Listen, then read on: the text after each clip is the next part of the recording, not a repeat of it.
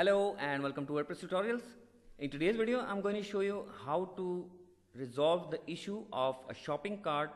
Uh, for example if you add a product in a shopping cart in WooCommerce website like uh, presently I'm doing for this and this I added three products to my shopping cart but uh, when you click on the view cart button mm, you can see here that there is no link to the uh, shopping cart page and it's redirecting to my home page again. So uh, the result is that there is no shopping cart page existed for uh, this WooCommerce. But if you come to your pages section then you will find that uh, actually there is a shopping cart page but it's not properly redirecting to that after adding uh, your products to cart.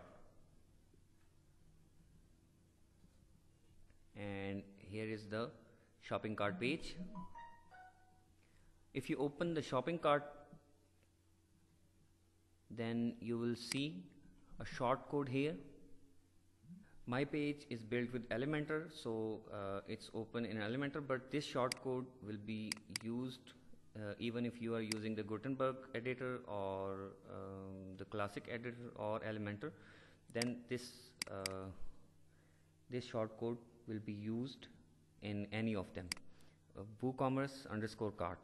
So after making this page mm, you can come to your WooCommerce and settings page. Now click on advanced. It's the latest version of WooCommerce. In previous versions uh, there was a checkout tab but now you you have to click on advanced. Here you can see that there are some pages selected for checkout my account terms and conditions. Uh, so you have to click in cart page and then select the cart you want to show uh, as your shopping cart page. You can either select this one or this one. Both of them are different because I chose uh, WooCommerce blocks plugin for this page and a simple cart is this one which I showed you with uh, this WooCommerce underscore cart shortcode. Click on that and then click on save changes. After saving the changes come to your home page uh, or on any uh, other products page or shop page where your products are listed and click on buy now or add to cart.